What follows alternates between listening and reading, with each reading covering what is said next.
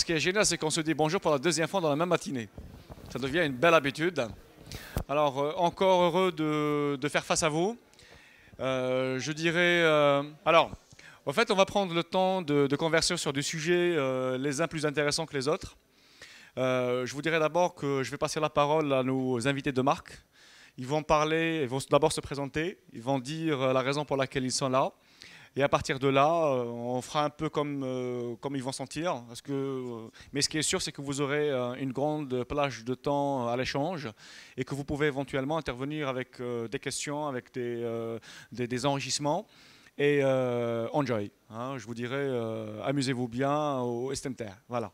Alors, sans transition, je passe mon micro à nos invités. Bonjour à nouveau, donc Yves Miezan Réseau. Euh, J'aurai le temps un peu d'échanger avec vous sur le parcours, pourquoi je suis là. Si, pourquoi je suis là, je vous l'ai expliqué tout à l'heure, construire des ponts et puis euh, euh, maximiser en fait les échanges entre ce que l'on peut retrouver un peu sur cette Afrique francophone extrêmement dynamique et puis cette Algérie plein de potentiel et avec lesquels ben, on attend et on espère au maximum échanger. Bonjour, euh, moi c'est Florent Youzan, je viens de la Côte d'Ivoire. Je suis euh, spécialiste en TIC transformation sociale, euh, cofondateur d'un espace d'intelligence collective. Je travaille au quotidien sur l'intégration des solutions libres et de l'open source dans la transformation du quotidien des Africains. Donc j'aurai le temps avec vous de discuter et vous montrer que tout simplement, on a découvert en Afrique que le numérique pouvait, à un moment donné, transformer chaque problème d'un Africain en une idée d'entreprise. Je vous remercie. Bonjour, alors je m'appelle Baba Karbiran, je viens du Sénégal et je suis cofondateur et directeur d'une start-up qui s'appelle Baobab Entrepreneurship. Et je suis vraiment honoré d'être là avec mes aînés, euh, de partager ce que nous sommes en train de faire. Et ce que nous sommes en train de faire, c'est vraiment l'exemple de, ce que le numérique peut apporter aux humains, euh, notamment les entrepreneurs. Nous sommes partis du constat que euh, le problème des entrepreneurs, c'est un problème, avant le problème du financement, c'est un problème d'avoir une très bonne équipe, de bénéficier de bons conseils et de savoir par où aller, avoir une méthodologie pour partir de l'idée à la réalisation de leurs problèmes. Et euh, c'est là où nous avons choisi d'utiliser le digital pour construire une plateforme qui s'appelle Concret. Donc accessible sur www.concret.com. Et sur cette plateforme, euh, tu peux débarquer en tant qu'entrepreneur, euh, te mettre avec d'autres entrepreneurs, bénéficier de conseils de mentors, utiliser les méthodologies qui sont intégrées sur la plateforme et si toutefois tu arrives à un niveau où tu es euh, finançable, on te met en relation avec des investisseurs ou des, euh, banques, etc. Donc c'est ce que nous sommes en train d'expérimenter au Sénégal et euh, notre objectif c'est vraiment d'être dans d'autres pays comme l'Algérie et je pense qu'on reviendra très bientôt pour essayer de voir ce qu'on peut faire avec les acteurs ici. Merci beaucoup. Alors je vous demanderai de garder le micro hein, parce que je vais vous prendre quasiment au mot. Naturellement, la richesse est dans l'échange, et on le sait tous. Est-ce qu'aujourd'hui, est-ce que vous pouvez euh, nous donner un bref aperçu par rapport à comment aujourd'hui euh, un jeune entrepreneur va pouvoir euh, entreprendre tout, simplement au Sénégal, au Sénégal? Ça veut dire parlez-nous un peu de toute cette infrastructure, de ce microsystème entrepreneurial qui peut éventuellement subsister au Sénégal et quelles sont les expériences personnelles vécues par rapport à ce système? D'accord. Je vais répondre à cette question en vous racontant une histoire. C'est l'histoire euh, d'un entrepreneur, un jeune entrepreneur qui s'appelle Ibrahim Diagne, qui est venu nous voir pour intégrer notre programme d'accélération. Parce qu'à côté de la plateforme concrète, nous avons des programmes d'accélération. Et Ibrahim est venu nous voir, il, est, euh, il venait d'être diplômé de l'école des douanes, il ne savait pas quoi faire. Il avait une idée vague dans la tête qu'il avait testée mais qui n'avait pas marché. C'était d'aller faire euh, de l'audit de factures dans le système portuaire. Parce que les transitaires se trompaient souvent dans les factures. Et s'ils se trompaient euh, en facturant moins, euh, le bénéficiaire se devait de, s'acquitter de, la différence. Et ça faisait très mal. Et lui, il ne pouvait pas faire cette, euh, cette audit parce qu'il est très jeune, il a 24 ans. En général, ceux qui le font sont très âgés. Et il connaît le système de facturation et il a un blocage. On s'est mis à réfléchir autour de son business model. On s'est dit, mais comment innover? Et c'est là où nous avons pensé à juste utiliser le numérique pour démocratiser ce système de calcul qui existe sur des fascicules. Il suffisait juste de l'implémenter en ligne sur une plateforme qui s'appelle aujourd'hui siftsenegal.com. Et Ibrahim est parti euh, comme ça, il a testé son, son, son produit sur le marché. Euh, il n'est pas tout de suite allé dans la confection de la plateforme, on l'a poussé à vraiment être agile. On s'est basé, on se base souvent sur des techniques de Lean Startup, donc il est allé tester euh, avec un fichier Excel et au fur et à mesure, je reviendrai sur la méthodologie, euh, sur notre méthodologie d'accompagnement, mais au fur et à mesure, Ibrahim a pu tester ce système et aujourd'hui a lancé sa plateforme. Et aujourd'hui, Ibrahim a une entreprise qui a plus de 10 salariés. On il n'a pas encore euh, travaillé sur son chiffre d'affaires, mais c'est quelque chose qui se monte à, quelques millions pour un jeune qui a, qui a 24 ans. Donc voilà un peu l'exemple de ce jeune homme, euh, Ibrahim, qui a décidé de se mettre au numérique pour révolutionner un domaine qui est réputé être fermé euh, et réputé être fermé surtout aux jeunes.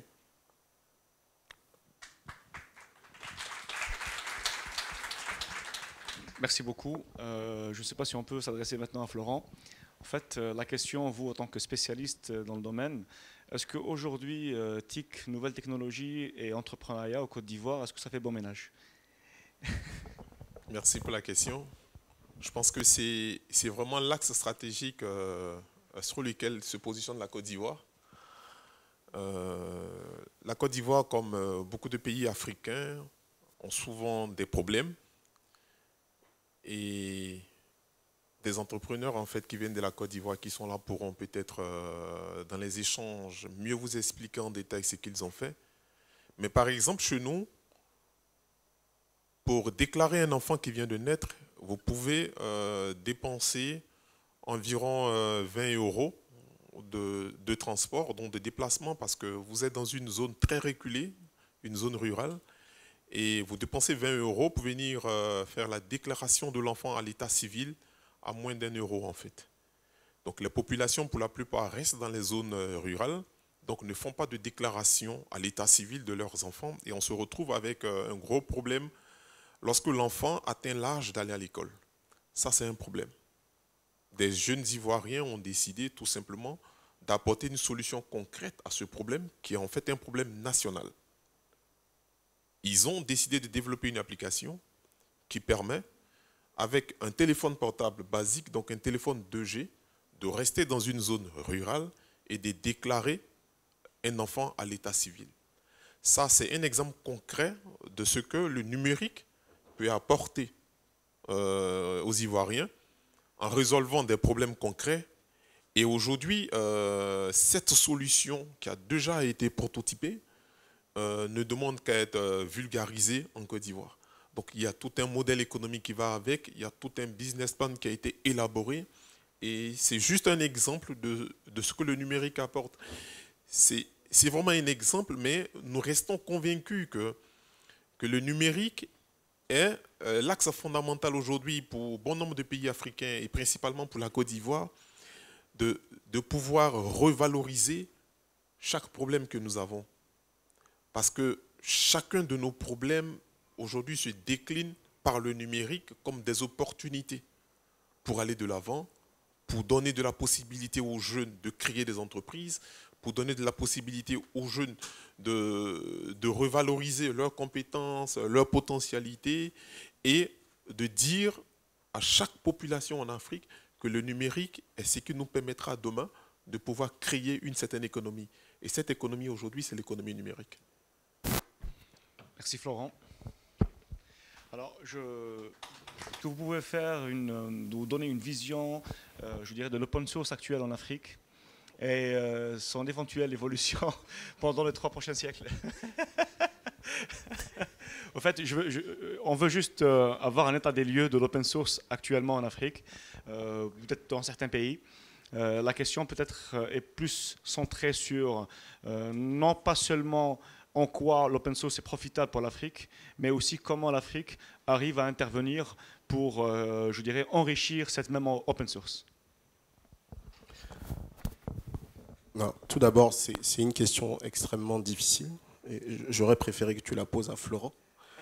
Euh, c'est pas pour botter en touche, hein. Euh, mais permettez-moi permettez de, de, prendre un tout petit peu plus de, de recul par rapport à la question et plutôt se positionner par rapport notamment à la petite carte là que vous voyez affichée. c'est une carte qui, comme ça, présente euh, les zones de couverture des pays riches et des pays euh, moins riches. Euh, avec une déclinaison selon pays émergents, pays en voie de développement, etc. etc., qui peut me donner le nombre d'individus qu'il y a sur, sur la Terre Donc vous voyez qu'il y en a 6 qui sont très en galère là sur la Terre. parce que 6 milliards de personnes en fait constituent la population des pays en voie de développement ou des pays émergents. D'accord? Parmi les pays euh, dits en développement, euh, émergents plus développement confondu, euh, on constate en fait que la répartition de la population est, assez. pour moi, c'est une opportunité. Donc je rebondis. je vais faire du plagiat. Hein. tout ce que M. Chala a dit tout à l'heure, je vais répéter, mais avec dans des phrases différentes. D'accord? Comme ça, ça, c'est de l'innovation aussi. D'accord? Je considère en fait que le fait que la moitié de la population, donc 3 milliards d'habitants, ait euh, moins de 15 ans, c'est une richesse et c'est une opportunité. Ça veut dire quoi? Premièrement, que c'est cette population-là qui, encore à l'école, lorsque c'est possible, euh, a des capacités d'apprentissage et de mutualisation des, savoirs et des connaissances qui est euh, extrêmement élevée. Donc ça, ça fait la transition en fait avec ces opportunités d'open source, puisque la philosophie sous-jacente à l'open source et au logiciel libre, c'est la valorisation de la connaissance, c'est le partage, c'est la richesse de l'expérience, c'est la capacité en fait de résilience, c'est la capacité à innover à partir. Alors, si, on, si on utilise la terminologie au sens littéral, ça sera la capacité de novation, pas d'innovation, mais de novation, puisque l'on va prendre en fait, par exemple, du code source existant et lui apporter en fait une contribution qui va répondre à un besoin concret local. Maintenant, s'il faut donner une cartographie, alors je l'ai quelque part, mais je ne l'ai pas forcément euh, à, disposition, une cartographie en fait euh, de l'écosystème open source en Afrique. Euh, c'est un équilibre un peu partagé entre une approche de l'open source et du logiciel libre en fait sur l'Afrique francophone, qui va être extrêmement différent en fait de ce qu'on va retrouver en fait en Afrique anglophone. c'est la raison pour laquelle tout à l'heure je vous disais, il est important que dans les prochaines étapes d'Algérie 2.0, on sorte du, bassin francophone et qu'on aille euh, échanger nos expériences, notamment avec euh, cette Afrique anglophone qui a des modes de pensée, des, modes, des codes euh, divers et variés. Ce sont des expériences qu'on a déjà entamées. parmi les différents intervenants que vous allez probablement rencontrer tout au long de cette semaine, certains vous diront leur expérience d'avoir candidaté sur un projet qui s'appelle FIRE, qui est un fonds en fait d'innovation et de recherche en Afrique, euh, qui est un fonds euh, à dominance anglophone et pour laquelle en fait on a décidé il y a quelques années, il y a deux ans je crois maintenant, euh, d'aller présenter des projets francophones, des projets open source, mais des projets en fait d'utilité sociale. ces prix-là, pardon, ces projets-là ont été lauréats. On, a présenté trois projets, les projets ont été trois, trois, trois années consécutives lauréats. L'idée c'est quoi? C'est de dire, on a un savoir qu'on doit pouvoir valoriser. Open source, logiciel libre, c'est ouvert, c'est commun. On travaille en fait sur la théorie des biens communs et on travaille en fait sur la capacité en fait que l'on a tous, euh, tout un chacun en fait, à faire bénéficier de nos propres expériences à une multitude de personnes, tout autant qu'on essaie d'acquérir en fait la richesse, intellectuelle euh, de, nos, euh, de nos partenaires et de, nos collègues. tout à l'heure, Babacar disait c'est un honneur d'être avec ses aînés. Bon, aînés, j'ai un peu tiqué, parce qu'on n'est pas si vieux que ça. Mais, euh, mais c'est cette richesse-là qui fait que effectivement aujourd'hui, on a, on a cette chance de se retrouver avec Babacar aujourd'hui autour de la même table. Euh, acquérir, entre guillemets, et partager son expérience, parce que l'expérience sénégalaise est particulière, l'expérience en Côte d'Ivoire est particulière, l'expérience en Centrafrique est particulière, au Burkina c'est particulier. Je suis vraiment euh, heureux, fier, il y a plein de mots, hein. mais euh, vraiment d'avoir euh, Gildas qui est parmi nous, Gildas Guiala qui est parmi nous, avec Kizito, j'ai vu Kizito tout à l'heure, il y le chef planteur. Euh, qui peut imaginer qu'on utilise l'éthique pour améliorer la productivité en fait, du paysan agricole qui ne sait pas ce que c'est qu'un téléphone Notre ami Jean-Élie Delmas le fait en Côte d'Ivoire. Donc, ce sont des expériences qu'on essaye en fait de partager avec euh, bah, le maximum de personnes. L'idée, c'est pas de dire ok, la Côte d'Ivoire avance, le Sénégal avance, le Gabon avance, etc. Non, non, non. Avançons ensemble.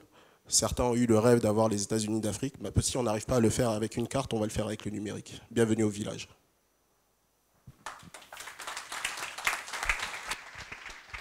Alors, euh, peut-être je vais venir à Babakan. La question, euh, et là, peut-être je te pose la question comme un jeune entrepreneur.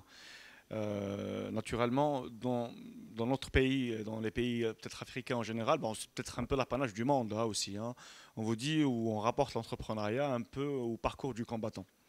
Alors, est-ce que, euh, ce, par rapport à ce qui se produit actuellement au Sénégal, est-ce qu'on peut dire que l'entrepreneur, c'est un peu, ou l'entrepreneuriat, c'est un peu le parcours du combattant euh, au Sénégal aussi? Et euh, à quel titre, je dirais juste titre? C'est-à-dire que, est-ce que tu peux un peu nous, nous relater le parcours type d'un entrepreneur au Sénégal? Quelles sont éventuellement les difficultés? Et peut-être, pourquoi pas, quelles sont aussi les facilités que vous pouvez avoir voilà. Et quels sont peut-être euh, les, les, problèmes, les rencontres euh, et les, euh, je dirais les, les, joies que vous pouvez éventuellement croiser au quotidien par rapport au fait d'entreprendre, je dirais au Sénégal?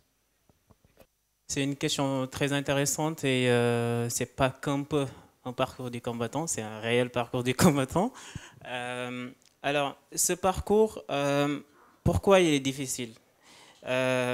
En général, l'entrepreneur, ça c'est quelque chose qu'on a découvert au fur et à mesure euh, qu'on les accompagne.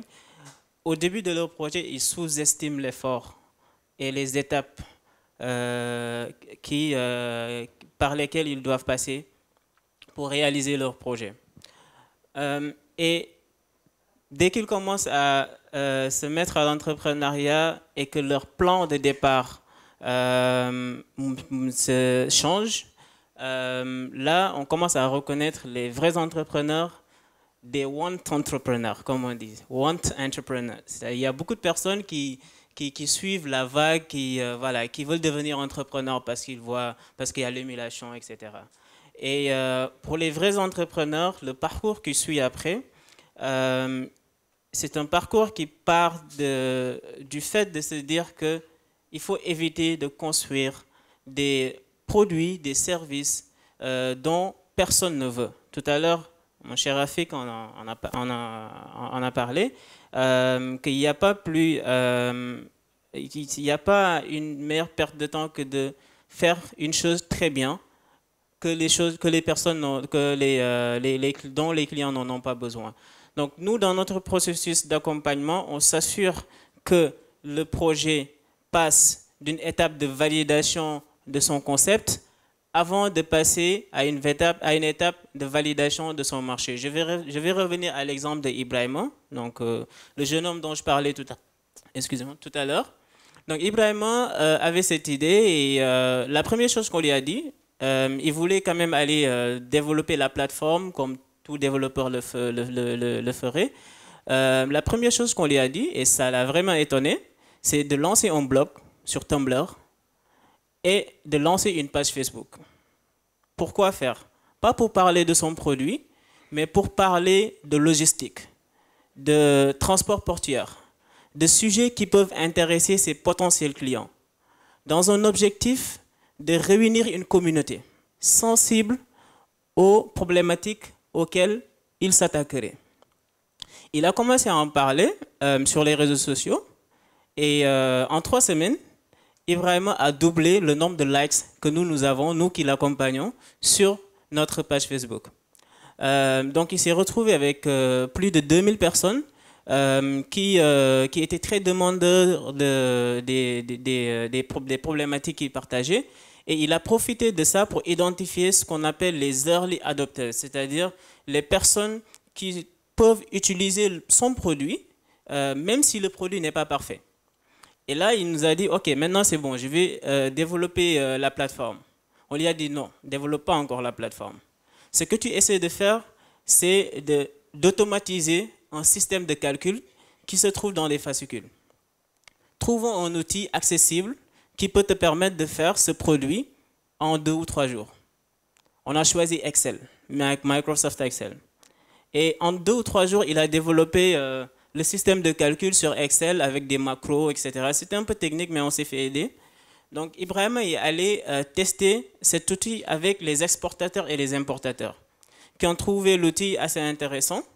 Mais il s'est passé un phénomène, euh, c'est que les clients, ces potentiels clients, euh, bien qu'ils trouvaient intéressant cet outil, n'étaient pas prêts à payer pour ça et n'avaient pas la confiance qu'il faut parce qu'ils préfèrent aller être devant un transitaire. Comme ça, ils peuvent, voilà, ils, sont habitués à cette tradition. Ça aussi, entre parenthèses, c'est un blocage qui peut exister quand vous faites du numérique, c'est-à-dire que les personnes euh, sont les pires résistants. Il y a des clients qui sont les pires résistants au changement qu'il faut.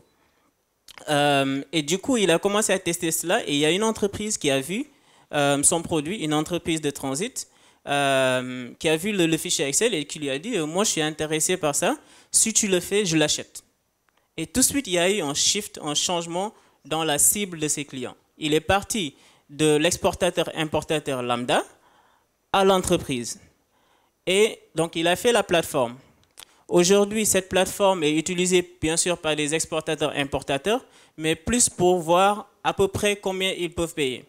Il sait qu'à la base, il voulait faire payer ses exportateurs, euh, mais ce qu'il a fait ensuite, c'est d'offrir ce système de calcul aux exportateurs-importateurs et faire une mise en relation avec des euh, maisons de transit directement à partir de la plateforme.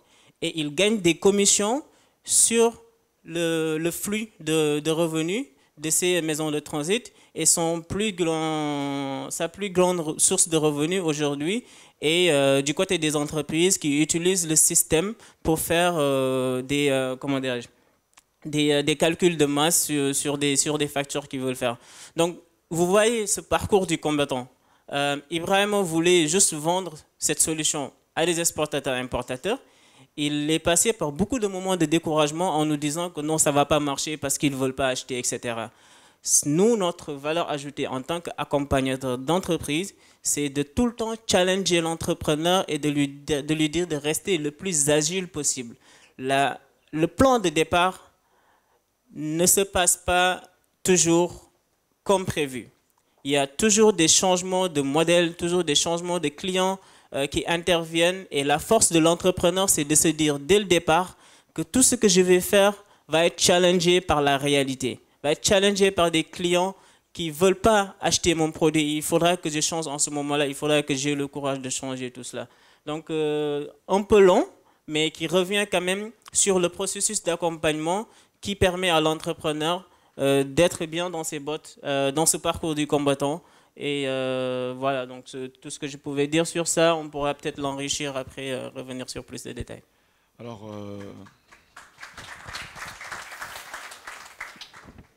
alors naturellement, le micro est chez Flo, alors je vais tout de suite réorienter la question pour, pour Florent.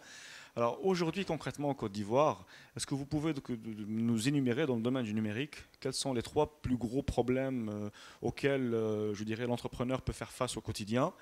Et quelle est peut-être la, facilitation la plus, euh, la plus parlante hein, par rapport à ces mêmes entrepreneurs? Merci pour la question. Parlons de, de problèmes. tout de suite, il faut, il faut arriver à un constat très simple, c'est que euh, on ne peut pas reconvertir le quotidien euh, des citoyens, disons des Livoiriens, sans tenir compte de sa culture en fait. Avec le numérique, on peut, très bien inventer une solution avec, euh, des applications super intéressantes. Mais dès que cette solution ne répond pas à un besoin spécifique, lorsque cette solution n'est pas mise à la coloration de la culture, on aura certainement fait une grosse invention, mais cette grosse invention ne deviendra jamais une innovation d'usage. Donc il faut arriver en fait, euh, lorsqu'on crée des solutions, à faire en sorte que ces solutions euh, puissent être utilisées et que ces solutions puissent devenir une innovation d'usage. Donc ça c'est un premier constat. Le deuxième constat, c'est que euh, on peut avoir une très belle idée, on peut, on avoir euh, tout le schéma du prototype en tête, mais il faut arriver à sortir de l'étape d'idée à l'étape de projet et à l'étape de prototype pour que ce prototype devienne un service qu'on pourra monnayer. Tant qu'on restera à l'étape d'idée avec euh, une belle présentation, un bon document, euh, avec toute une planification, on, ne réussira pas à faire en sorte que le service qui doit sortir de cette idée puisse être, puisse, pardon, générer une certaine économie. Donc ça, c'est le deuxième constat. Et pour finir, une chose, une chose importante qu'il faut, qu'il faut réussir, c'est que nous, nous sommes beaucoup plus dans une démarche agile, centrée sur l'intelligence collective.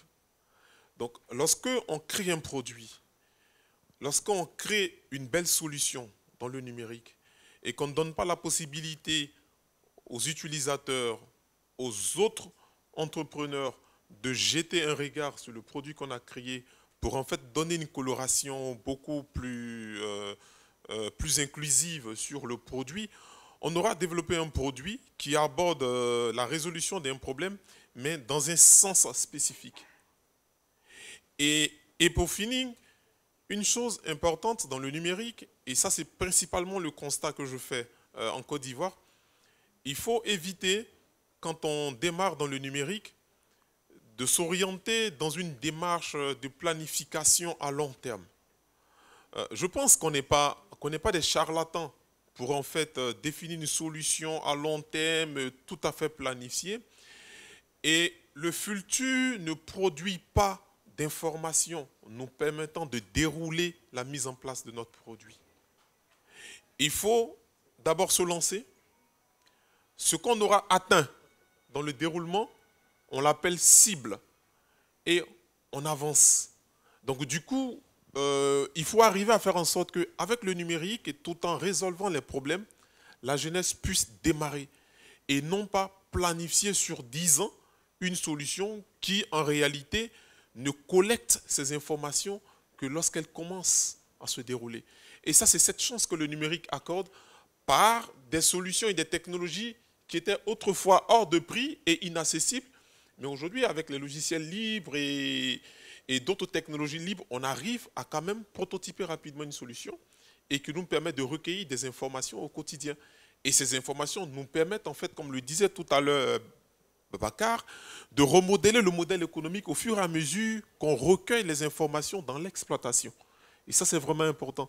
Donc, c'est vraiment euh, une vue générale que je donne, mais qui touche du doigt des éléments concrets qui permettent par exemple au numérique aujourd'hui, qui est une chance pour la Côte d'Ivoire et pour l'Afrique en général, de pouvoir résoudre des problèmes, mais tout en permettant euh, à l'économie de se mettre en place, à l'économie de se remodeler.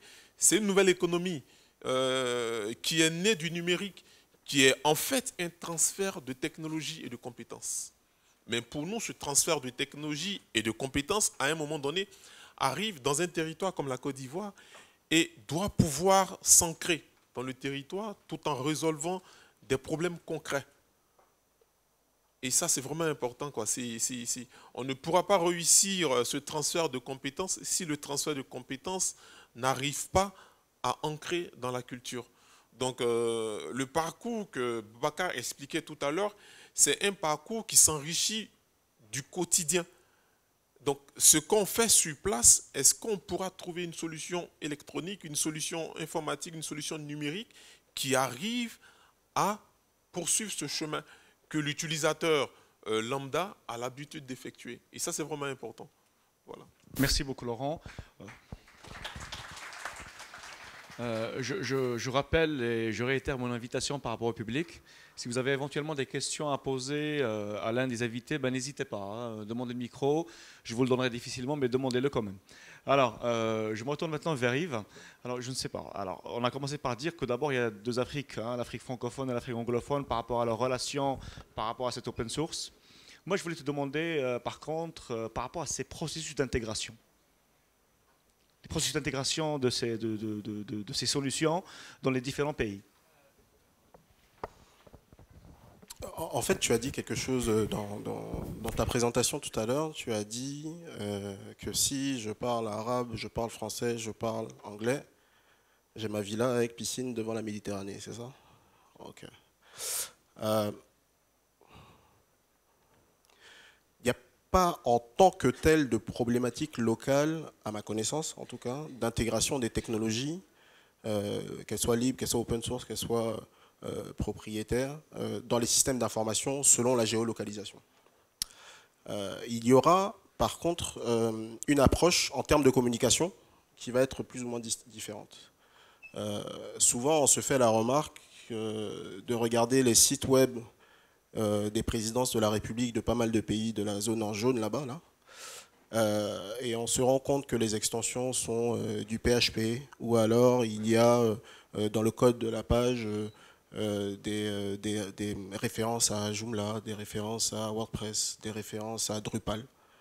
on va voir le DSI de, de, de l'autorité et on dit Ah, mais tiens, tu utilises du logiciel libre. Ah, tiens, tu utilises de l'open source. Ah non, pas moi. C'est un déficit de communication, pas un déficit d'intégration. Premier, constat. Deuxième constat, et euh, effectivement Babacar et Florent ont, soulevé le point, euh, il y a dans certains pays euh, des éléments qui sont un cadre légal et juridique en fait qui est favorable au développement et au climat des affaires. Traduction si je peux créer mon entreprise en, allant voir un guichet unique, que je peux le créer en une heure, comme c'est annoncé dans certains pays. Il y a, trois jours, j'étais au Bénin, à Cotonou, pour donner une formation sur l'entrepreneuriat numérique, justement, euh, où ça m'a frappé. J'arrive à l'aéroport et je vois euh, un, kakémono comme ça. On dit euh, Vous voulez créer une entreprise? Venez au GUF, qui est le guichet unique des formalités des entreprises. En une heure, c'est réglé. J'arrive, je dis Waouh je dis ouais parce que euh, déjà, j'ai jamais été accueilli comme ça par un panneau ni à Accra, au Ghana, ni à Abidjan, euh, en Côte d'Ivoire. Que quand je veux créer une entreprise à Abidjan ou en Côte d'Ivoire, une heure, je peux prier. Euh, et croyez-moi, j'ai essayé. bon, en même temps, j'ai essayé, mais j'ai été fainéant parce qu'ils me demandaient les papiers, je voulais pas aller, ça me fatiguait. Bon, d'accord. mais ce créer, par exemple, quand on me dit, regardez sur la France, etc., ou bien à Londres, vous pouvez créer. En Grande-Bretagne, on peut créer une entreprise en un jour. On va dire ça. Euh, en France, on va mettre euh, une semaine, une à deux semaines. Euh, en Côte d'Ivoire, sur le papier, ils disent quoi? Trois heures Non, trois, trois heures. Trois jours. En Côte d'Ivoire, sur le papier, ils mettent trois jours. qui a créé son entreprise en trois jours Sur? Non, non, c'est pas est-ce que tu es sûr, c'est euh, sur 10 personnes. Statistiquement. Euh, au Bénin, euh, comme j'ai vu le truc, j'étais avec le vice-président de la Chambre de commerce et je dis, mais votre guichet là, il marche. Il me dit, ouais, ça marche. Je dis, non, ça marche. Il dit, ouais, ouais, ça marche. Je dis, il y a combien d'entreprises créées? Il dit, ah, il ne sait pas.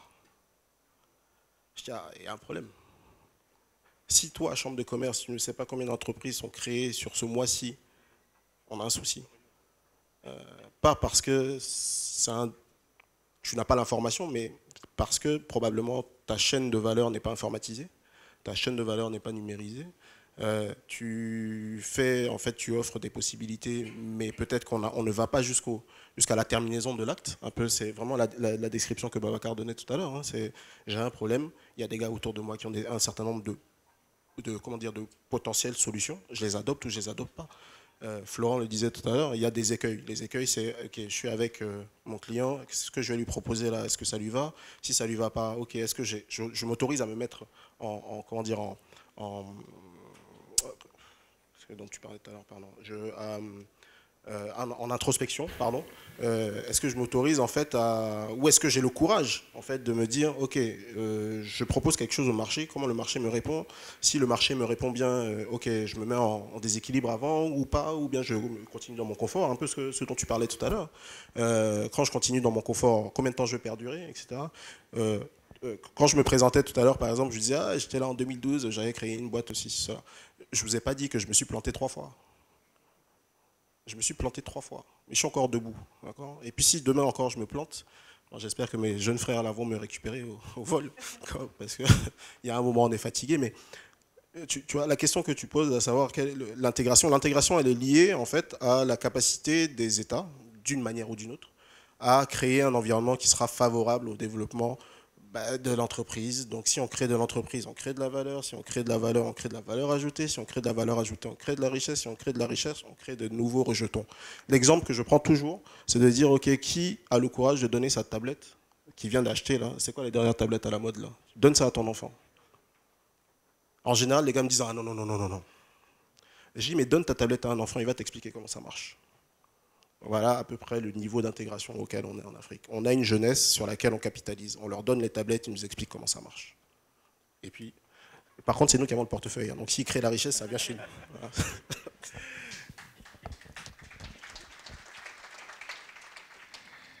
Merci beaucoup Yves. Merci. Reda Gelouz, je suis de l'Association tunisienne des technologies de l'information et de la communication ATIC très fortement interpellé par votre question d'intégration.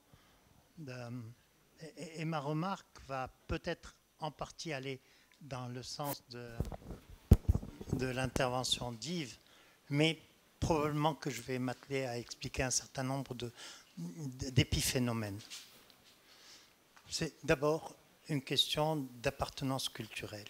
Effectivement, les anglophones, avec un entendement anglo-saxon de l'économie numérique et les francophones avec un entendement francophone de l'économie numérique. Et laissez-moi vous dire d'emblée que ce qui est le plus général par l'économie numérique, c'est la possibilité d'utiliser des fonds publics dans le, cadre de la réalisation de projets maîtrisés pour l'essentiel par le secteur privé. Et c'est là où disons que les, francophones commencent un peu à, être blessés au bas. Parce que avec un tel entendement, et surtout avec, la promotion de l'économie numérique dans les pays francophones, il y a quand même une, une certaine quantité d'avantages qui sont accordés si l'on s'intègre dans cette économie numérique.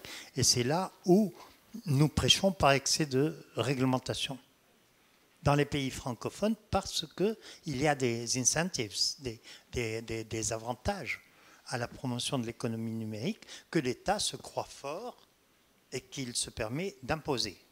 Dans le système euh, anglo-saxon, les euh, anglophones, disons en Afrique, les choses sont tout à fait différentes. C'est pratiquement la libre entreprise et un entendement plus libéral de l'approche de l'économie numérique. J'en voudrais pour preuve que les, pays les plus développés en matière d'économie numérique sont l'Afrique du Sud, le Kenya, le Nigeria, euh, maintenant l'Éthiopie de plus en plus, euh, l'Égypte, le Congo. C'est des, des, anglophones, ou disons à prédominance culturelle euh, anglo-saxonne. Alors, disons que de ce point de vue-là, je dirais que nous prêchons, nous, francophones, par un excès de réglementation, par aussi une interprétation tendancieuse de ce qu'est l'économie numérique. Il y a beaucoup de travail probablement au niveau universitaire à faire pour, euh, disons, arranger un peu les angles de cette, de cette définition. C'est trop, trop agressif, l'État est trop sollicité, euh, il s'offre lui-même à cette sollicitation il n'est pas garanti que l'on obtienne euh, quelque chose. Alors moi je dis, avec cette différence culturelle, il y a beaucoup de travail à faire pour nous francophones au niveau de la définition de l'économie numérique. Je suis certain que les processus de lancement euh, de, génération d'entreprises ou d'entrepreneurs dans les pays francophones, il gagnera à ce que ce travail soit fait. Je vous remercie. Merci beaucoup, Atek Saha. Merci beaucoup. Merci Rida, effectivement, pour la, pour la zone d'éclaircissement.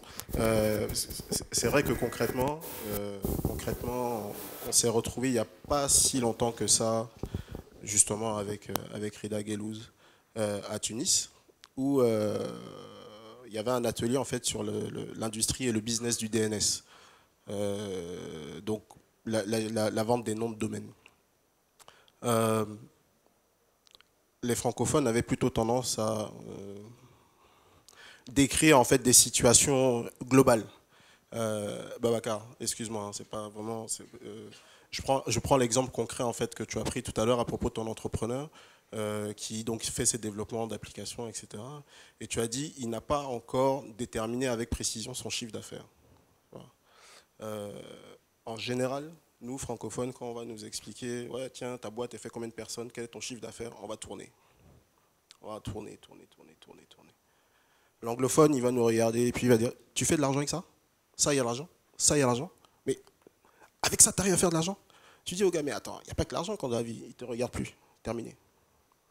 Et ce que, ce que Rida dit, effectivement, c'est, euh, comme ils sont extrêmement libéraux, euh, que bah, on est à 1 milliard, 1 milliard 5 hein, sur le continent et il faut compter avec eux. Euh, on peut pas, on peut pas en fait s'isoler en disant ok, on est francophone, on a notre mode de pensée, c'est nous les plus beaux, etc. et puis se, contenter de ça, non, on n'a pas le choix. Et encore une fois, ben, on est au village et le village il n'a pas de frontières. Et c'est ce que c'est la preuve, hein, c'est la preuve concrète euh, qui a été énoncé et qui continuera d'être énoncé. Euh, j'aime bien utiliser le village parce que j'ai Cyriac Bourou que vous allez pouvoir rencontrer un peu plus tard, qui est le chef du village de la communauté web ivoirienne. Et depuis, il cherche à s'exporter en tout cas. en tout cas, bienvenue en Algérie. On va t'exporter aujourd'hui.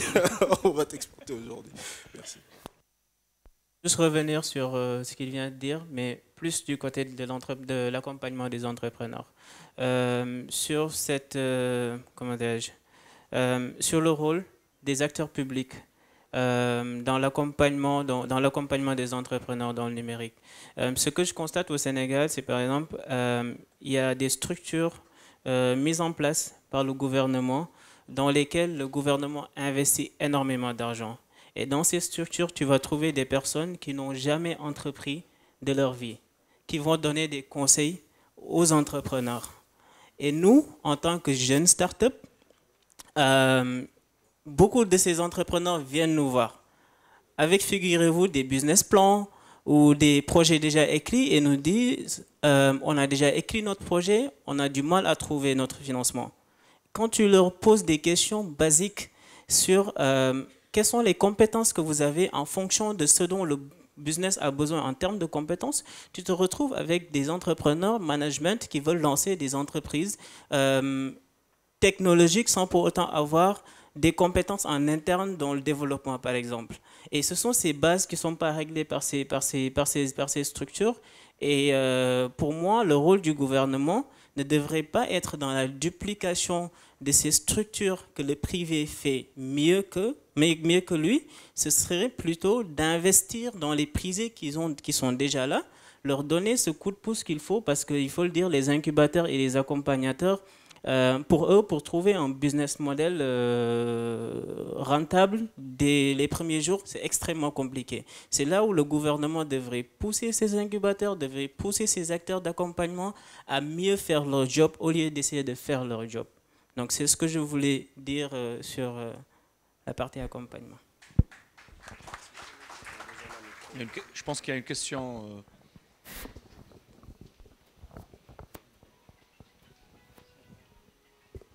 Merci. Euh, Laurent Ferrali, je travaille au ministère de l'économie à Paris, mais je ne suis pas là à titre professionnel. Je suis venu euh, en Algérie euh, sur invitation et à titre personnel, donc j'ai ma liberté de parole. sur ce sujet, pour compléter ce qu'a dit Babacar, le, rôle du gouvernement, effectivement, n'est pas de dupliquer ce qui existe, parce que de toute façon, vous allez mettre derrière un guichet des gens qui ne savent pas du tout ce qu'est une start-up. Euh, en termes de, philosophie, en termes de projection, quoi. ce sont des gens qui sont fonctionnaires. C'est l'inverse d'un gars qui est dans une start-up, un fonctionnaire. C'est un type qui a son emploi à vie, euh, zéro risque, euh, quasiment. À part s'il tue son voisin, il n'a aucune chance d'être envoyé chez lui. donc, c'est pas, pas là-dessus que l'État peut intervenir. par contre, il y a des, je pense qu'il y a des leviers qui sont très puissants que l'État devrait plus utiliser euh, le premier que je vois, c'est l'accès à la commande publique. Intégrer dans la commande publique des gens qui sont des, qui sont des, start, des startups, euh, justement des structures agiles qui sont capables de trouver des solutions faciles à des problèmes jugés complexes. Puis parfois, ils ne sont pas très complexes, mais bon, sont jugés complexes. Euh, on a souvent la commande publique qui est réservée à des grands groupes qui ne sont pas forcément extrêmement agiles pour répondre à ces questions-là. Donc je pense que chaque, l'accès à la commande publique, qui n'est pas dépensé plus pour l'État pour parce que la commande publique existe. Donc euh, c'est juste peut-être euh, en, comment dire, en détourner une partie vers des, startups pour créer un marché, pour les aider à amorcer. En Europe, il y a des solutions qui permettent au gouvernement de, proposer des marchés publics qui sont limités à des startups. Il y a des dispositions légales. C'est une forme de Small Business Act qu'on a en Europe. Euh, ça, c'est un des premiers, un des premiers euh, leviers. Un autre qui a déjà été dit, c'était de simplifier la création des entreprises, parce que les gens doivent se construire sur leur projet et pas sur la paperasse, euh, parce qu'ils ne sont pas là pour ça. Ce sont des gens qui, sont créatifs, ce sont des gens qui doivent être mis en condition de réussir. Et puis un troisième, un troisième, un troisième levier qui va être extrêmement puissant, bah, c'est l'open data. C'est que pendant des entreprises qui se développent euh, sur le traitement euh, des big data. Et les États, naturellement, produisent de la donnée. Il faut que cette donnée soit accessible. Il faut que c'est un, standard et, euh, et, certaines, comment dire, et certaines données quoi, et certaines disponibilités soient discutées avec les gens qui ont des startups et que l'État apporte cette, ce, carburant à, ces startups-là. Et pas être dans la subvention qui devient un modèle économique, mais plutôt dans l'accompagnement et, euh, et, dans le et puis donner les quoi. Sans ça coûte beaucoup plus à l'État, mettre en position, mettre les startups en position de réussir. Voilà. Merci beaucoup. Alors euh, oui, je pense qu'il y a Madame qui veut intervenir. Euh, je vais juste sortir de mes chaussures de, de modérateur pour deux minutes. Euh, c'est normal que l'État intervienne par rapport au fait de vouloir euh, donner une légitimité à son existence. Mais ce que j'ai envie de vous dire aussi, moi, comme je le dis souvent à mes porteurs de projets, euh, l'incubateur existe parce qu'il y a des porteurs de projets. Et non pas parce que l'incubateur existe que les porteurs de projets vont venir. En fait, c'est un peu l'effet inverse. En fait, je, dis tout ça pour une raison toute simple. les dispositifs seront toujours là. À cela, une raison toute simple, je l'avais dit au départ, c'est que les États veulent fortifier leur sentiment de vouloir exister à travers euh, un dispositif, une mainmise, une, une mainmise, un outil, etc. C'est tout à fait normal. Mais en parallèle, moi, je responsabilise plus les entrepreneurs en disant, OK, l'État veut, euh, comme chez nous en Algérie, on a le principe, on a le dispositif de l'enseigne. Ben, tant mieux, l'État le, le, met à disposition, etc. Maintenant, c'est aux entrepreneurs de vouloir et pouvoir en profiter. Ça veut dire qu'il y a des dispositifs qui sont tellement, euh, je dirais, récurrents que ça devient pratiquement de l'insertion sociale. Mais en parallèle aussi, il y a des entrepreneurs qui savent bien en profiter et qui sont devenus des petites multinationales, c'est j'ose dire, et qui, exportent pour 40, 50 pays, qui ont tiré leur épingle du jeu avec des dispositifs qui sont autant, euh, je dirais, euh, construits pour eux que pour l'intégration sociale à côté. Voilà. Alors, il y a madame qui veut intervenir? Je vous remercie. Donc, euh, je me présente, c'est madame Iseguin, sous-directrice des systèmes d'information au niveau du ministère de l'Agriculture. Euh, tout à l'heure, un de vos invités euh, avait parlé d'une expérience relative à l'augmentation de la production agricole. C'est quelque chose qui a attiré mon attention. Donc j'aimerais bien que succinctement vous me donniez un petit peu euh, une explication. Et surtout, vous avez parlé euh, de l'utilisation du mobile. Et je vous remercie. Bon, euh, question. C'est vrai que c'est toujours difficile de. Je balance plein de trucs et puis après on rentre dans le détail et là je suis bloqué. Bon, le projet s'appelle l'Orb War. La traduction littérale, euh, vous sera donné un peu plus tard, puisqu'il est là, Jean Delmas est là. Production. Belle production. Euh, belle production pour la traduction du projet, d'accord euh, Si vous permettez, on va faire encore mieux. La réponse, elle va intervenir par le porteur du projet. D'accord Bonjour, je suis Jean Delmas et oui, porteur du projet euh, qui est une plateforme de services agricoles orienté euh, pour euh, les paysans du monde rural, bien sûr. Et l'objectif de ce projet, c'est d'améliorer la productivité. Normalement, j'interviens samedi, je crois, dans le programme. On va anticiper comme Madame l'a demandé. Et Lorbo, c'est une plateforme euh, qui tourne autour de cinq services. j'ai fait trois ans en tant que consultant en milieu rural sur des projets agricoles et j'ai décelé quelques problèmes liés au, monde agricole. Nos paysans euh, ont besoin de se mettre en coopérative. D'abord, il faut qu'ils soient regroupés pour être encore plus forts face aux traders, aux acheteurs et autres. Donc, l'idée, c'est de leur donner d'abord de la visibilité. On a développé donc une plateforme, euh, un portail web qui va permettre de donner de la visibilité à ces acteurs-là. Donc ça, c'est le premier service. Il faut qu'on sache où ils sont et ce qu'ils font. Deuxième élément, euh, il faut les accompagner avec un outil moderne de gestion. Parce que euh, chez nous, les coopératives ont encore de gros cahiers où on note X a envoyé 15 kilos, Y a envoyé 20 kilos. Et le jour où le cahier disparaît, c'est compliqué de reconstituer les données et même pour l'État d'avoir des, euh, données statistiques. Donc, on a développé une, application de gestion qu'on va offrir aux coopératives et pourra numériser d'abord leur activité. Donc, on pourra maintenant savoir le nombre de paysans qu'on a, les parcelles, les cultures et euh, euh, gérer les flux de produits, qu'est-ce qui entre, qu'est-ce qui sort. Ça, c'est le deuxième élément qu'on offre via la plateforme. Troisième élément, il ne suffit pas de produire, il faut donner la chance aux paysans de vendre. Et euh, cela sous-entend trouver des marchés pour ces paysans. Donc on développe un système de vente qu'on a baptisé un virtual market qui utilise le téléphone mobile classique pour permettre à la coopérative de donner la disponibilité de son stock juste par SMS. Et nous, on collecte l'information, on diffuse à, travers notre réseau web, euh, mobile, SMS à des acheteurs potentiels. Donc on fait une mise en relation. Et un acheteur aussi peut poster une information indexer des coopératives. Dans le domaine, par exemple, de la banane, je recherche 30 tonnes et les coopératives qui sont affiliées à la plateforme reçoivent l'information. Donc, comme ça, elles constituent leur stock. Donc, le troisième élément permet de faire de la mise en relation. Le quatrième élément que nous développons, c'est euh, donner l'information sur les marchés aux paysans et aussi aux acheteurs. Donc, on a un système d'information de marché qui donne les tendances les prix, la disponibilité des, produits sur, euh, sur, les marchés à des abonnés. Et quand vous êtes abonné pour votre zone, vous recevez euh, chaque deux jours, chaque trois jours les tendances via SMS. Vous pouvez aussi demander le marché qui offre le meilleur prix pour un produit bien défini. Donc, euh, je, veux le marché qui offre le meilleur prix sur la banane dans ma zone. Comme on a des agents qui sont sur les marchés, qui collectent les prix chaque jour de manière dynamique, donc on a un système qui fait la comparaison de prix et indique le marché qui offre le, le meilleur prix à, euh, à l'abonné. L'idée derrière ça, c'est d'informer aussi le paysan sur le prix auquel son produit est vendu sur le marché le plus proche. Comme ça, ça lui donne un outil de, euh, de, euh, de négociation. Parce que souvent, les paysans sont en milieu rural, ils n'ont pas accès à l'information.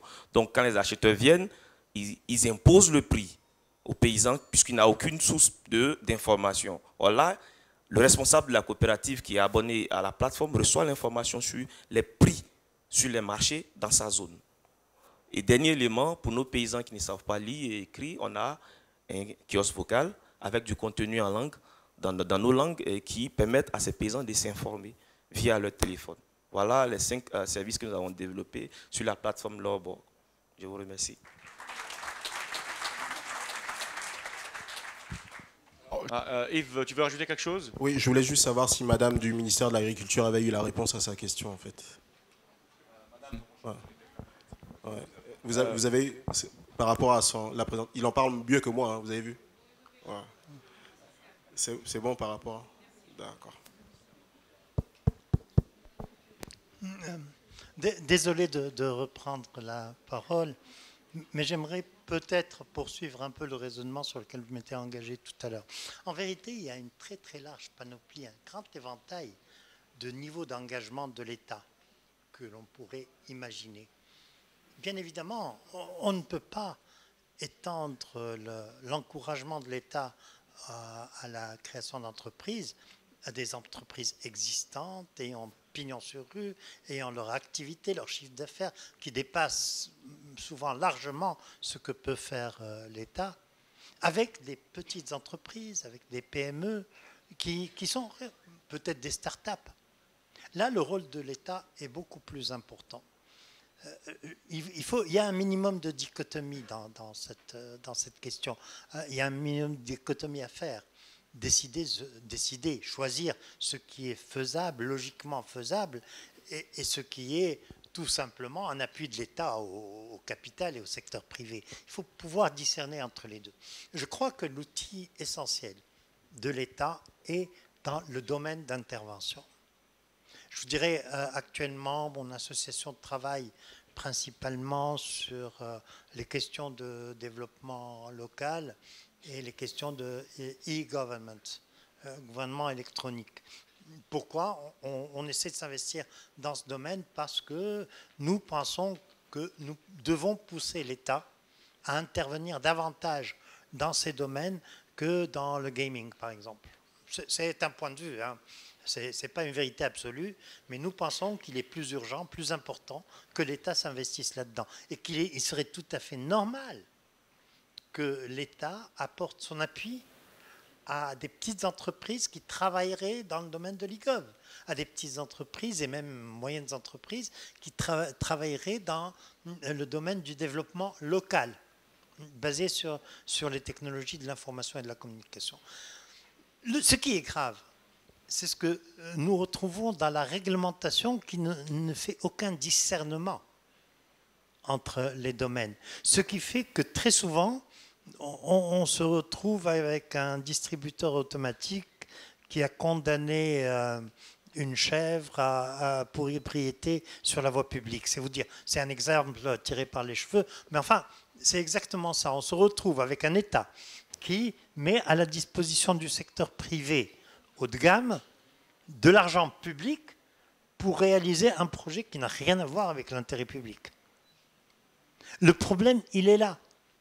Il faudrait que nos réglementations soient moins vaseuses, moins générales, pour que le, législateur puisse, que l'administrateur l'administrateur véreux dont vous parliez tout à l'heure, qui, qui en, réalité n'a rien à voir, ne sait rien de ce qu'est l'économie numérique, ben, créons-lui des règles aussi. Pas forcément véreux. Hein. Non, enfin, je, dis, tel qu'il était décrit, il était véreux. je suis désolé. Ouais, ben, enfin, donc là, il est Tranquille, c'est une, des, une des qualités du véreux. Alors, le, problème de Laurent Ferrali, c'est qu'il a dit qu'il avait sa liberté de parole, mais ça ne veut pas dire qu'il faut interpréter tout ce qu'il dit bizarrement. Comme on veut, ouais. N'importe comment. Je dis que là aussi, les, fonctionnaires, je ne les défends pas. J'ai été fonctionnaire, mais euh, disons, je ne les défends pas. Je dis qu'ils découvrent comme tout le monde.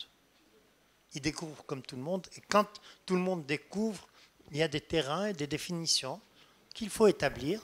Il faut savoir sur quoi jouer. Mais on, ne peut peut-être pas euh, demander. regardez, j'étais à un moment donné président d'une commission. Ce que, ce que, je, vais ajouter juste un paramètre par rapport à cela, il faut, il faut dire que souvent ceux qui sont euh, décideurs par leur nature de, de, salariés dans les différents dispositifs, ils sont eux-mêmes aussi le résultat d'une décision. Aussi. Alors, je vais vous dire, à un moment donné, j'étais président d'une commission nationale pour euh, l'octroi de subventions euh, d'une part à la société civile et d'autre part au secteur privé émergent. Hein. Vous n'allez pas me croire. Au bout d'une année, je n'avais pas réussi à octroyer un, une seule subvention. Et j'ai fini par faire un rapport. Euh, écoutez, faites des lois compréhensibles, plus compréhensives de la situation et qui nous permettent de décider de la faisabilité de telle ou telle chose. Mais des lois qui disent non à tout, le bonhomme de l'administration, euh, qu'est-ce que vous voulez Il ne peut pas, il, peut pas euh, prendre des initiatives par lui-même. Lui, il applique une disposition légale. Il applique une... Je, vais dire même autre chose. Je vais dire que parfois il subit aussi. Pardon Que parfois il subit aussi. Euh, aussi, oui. C'est à son corps défendant qu'il prendrait une, décision contre la disposition réglementaire. Alors, je crois que nos, nos, réglementations euh, ne sont pas faites pour être vécues, euh, vécues et appliquées raisonnablement. Elles sont faites pour être appliquées à la lettre et à la lettre, ça ne convient à personne. Juste une autre question par rapport à la perfection des dispositifs derrière. Juste, je pensais que le monsieur. Vous avez une question à poser? Une question à poser? Deux parties? Deux ou trois questions? Pour Yves? Euh, Oui. Bonjour. Donc, euh, Abdelkader Abdelkadir, jeune entrepreneur de la société Milestone Solutions. Euh, vous aviez parlé de l'open source et de son utilité aujourd'hui pour faire la transit numérique dans le continent africain. Vous avez également parlé de, des problématiques francophones, anglophones et comment ça peut impacter les entrepreneurs ou les entreprises. Euh, ou le partenariat global en Afrique. Euh, également, vous avez parlé des problèmes d'administration de, et leur impact, bref. Sur, alors, si vous me permettez juste, je vous demanderai d'être très précis dans les questions parce que j'ai aussi une tonne de questions à leur poser. Tout à fait, oui. je vais essayer de faire de mon mieux. j'ai la fâcheuse habitude d'avoir trop d'idées à la fois. Euh, donc par rapport euh, à l'open source, euh, par rapport à, un écosystème, aujourd'hui on parle d'un écosystème numérique en Afrique. Il est, un peu difficile de, se mettre des, des obstacles dès le départ euh, et de se dire focaliser notre euh, évolution au transit numérique en Afrique en global, pour pas citer que l'Algérie, et de se dire euh, travailler avec l'open source ou proposer l'open source comme solution. vous verrez certains articles qui prouveront que l'open source ne coûte pas forcément moins cher que les solutions commerciales. Euh, sur deux sociétés asymétriques, si vous ne passez pas sur des solutions euh, commerciales, vous ne serez plus concurrente. Euh, ça, c'est d'un côté. Donc, essayer d'avoir une vision un peu plus globale des solutions et de savoir comment opter pour une telle ou une telle solution, open source ou non, ou commerciale. En l'occurrence, Excel n'est pas open source, hein, c'est commercial, Microsoft. pour citer le jeune Ibrahim qui a créé son. Voilà. Et euh, d'un autre côté, vous avez parlé de, des sociétés francophones, euh, enfin des sociétés qui sont orientées francophonie et l'autre anglophone. Je pense que c'est plutôt une chance parce que nous n'avons que deux langues et deux systèmes. Si vous prenez l'exemple de l'Union européenne, euh, c'est euh, l'anglais, le français, l'italien, l'espagnol, l'allemand et ainsi de suite. Donc, et ils arrivent quand même à avoir un, un, Union européen qui fonctionne très bien. À savoir que le numérique a bien émergé dans tous les continents et les pays du monde. Euh, pas seulement d'un point de vue linguistique, mais aussi économique et politique. C'est-à-dire dans les sociétés les plus euh, ultra-libérales, comme les États-Unis, ou bien les, euh, les plus socialistes, comme la Chine ou bien la Russie.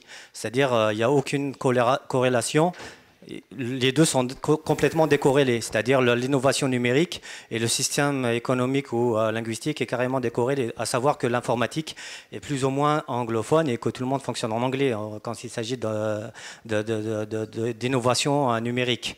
Donc ça ne peut pas être... En Afrique, nous avons la chance de parler tous les, pays, d'avoir de parler plus ou moins au maximum de langues, le français, au minimum de langues, le français et l'anglais ce qui est plutôt un avantage pour l'Afrique et non pas un, obstacle, à mon avis. Voilà. Je, pense que Yves se perd un peu comme moi par rapport à la question.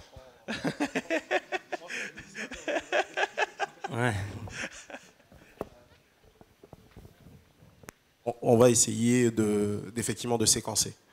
Euh, il n'y a aucun pays en Afrique francophone où il n'y a que deux langues il n'y a pas. Euh, au-delà de la langue dite langue officielle, euh, il y a les langues locales, il y a les ethnies, les cultures, les dialectes, etc. Dans l'expérience qui a été euh, partagée juste avant par Jean, Jean Delmas, il vous a dit, pour une certaine tranche de la population paysanne qui ne sait ni lire ni écrire, on a un kiosque vocal qui leur explique en fait les choses en dialecte. D'accord? Euh, Le sous-jacent de ça, c'est que euh, les particularités, ces particularités linguistiques et culturelles, il faut les intégrer. D'accord? Donc, il ne s'agit pas de. Euh, peut-être que mes propos ont été interprétés un peu en, en biseau. Je ne dis pas qu'il y a une opposition entre le francophone et l'anglophone. Je dis que les approches sectorielles, séquentielles, géolocalisées sont différentes on parle depuis tout à l'heure de, comment dire d'accompagnement de, la commande publique au développement des, euh, écosystèmes et des startups. Euh, je prends une société qui développe un logiciel en anglais et je vais le proposer à l'administration ivoirienne. Vous pensez qu'ils vont signer le chèque tout de suite? Ah oui, sauf que la particularité de la Côte d'Ivoire, c'est la particularité de la Côte d'Ivoire. Donc effectivement, on peut avoir une approche globale en termes de communication, mais lorsqu'on fait de la distribution, elle est plutôt locale. D'accord? C'est un peu les échanges de ce, matin, c'est de dire, OK, euh, on, se projette sur des problématiques qui vont répondre à un besoin, et le besoin, il est peut-être effectivement national, il est peut-être local, il est peut-être sous-régional, il est peut-être... OK, certes. Mais l'approche en disant, euh, OK, euh, c'est soit, soit anglophone, soit francophone. Effectivement, ce n'est pas une approche qui est, euh, qui est nativement réelle et qui. C'est pas un clivage qui est substantiel et sur lequel en fait on doit créer un business. C'est faux. Comme je vous disais tout à l'heure, euh, on se retrouve dans une industrie et dans un village qui est numérisé. Tout le monde, la langue, quand, on fait du code, c'est plutôt documenté en anglais, c'est pas documenté en français, parce qu'il faut pas oublier que la cote-part en fait, de, présence de la langue française en fait, euh, dans vos résultats de moteur de recherche, c'est entre 3 et 5 Donc si ensuite on se projette, parce qu'il y a des travaux sur la, justement la présence de la documentation en langue arabe, bah, et qu'on fait des statistiques, eh ben, je ne suis pas sûr qu'on en trouve autant qu'en anglais. D'accord? Donc, par contre, ce sont des problématiques qui vous touchent, qui nous touchent, qui touchent les anglophones, qui touchent les francophones. D'accord? Donc, globalement, on essaye de se projeter et d'échanger, en fait, sur ce, type de discussion, et c'est là-dessus qu'on essaie d'avancer. Donc, encore une fois, ça n'est pas un clivage, c'est une complémentarité. Vous avez utilisé le mot, d'accord? Pour parler effectivement des systèmes propriétaires et des systèmes euh, euh, libres, ouverts, open source, etc. Vous avez pris l'exemple de Babacar tout à l'heure qui dit, OK, nous, on a choisi une solution, on a développé des macros avec Excel. Il a fait avec ses réalités euh, sur site. Il a les compétences qui savent développer comment dire, développer euh, euh, des macros Excel. Il n'a peut-être pas des gens qui vont venir dire Ah, attends, je vais m'essayer à faire une expérimentation sur OpenOffice base. ah, tiens, ça ressemble pas tant que ça. Il y a un langage qui est particulier. Je me tente dedans. Je m'expérimente. Non, non, non, non. Il a fait sa théorie des avantages comparatifs. Là, je sais faire. Là, je ne sais pas faire. Si je sais faire maintenant, peut-être que je vais aller straight to the market now. Et puis c'est là où mes clients en fait, euh, se trouvent. il, a, il a cette approche-là.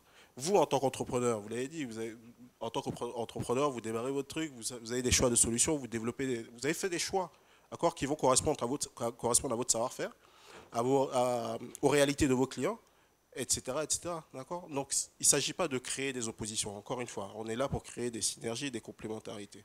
Donc, dire open source d'un côté, euh, propriétaire de l'autre, ce n'est pas complètement vrai. Euh, moi, je souhaiterais intervenir sur, euh, sur, votre question concernant l'open source, les logiciels libres et tout. Euh, en fait, encore une fois, il faut qu'on soit beaucoup plus explicite et clair pour dire que nous ne présentons pas d'opposition, mais nous révélons des cas spécifiques pour des choix stratégiques.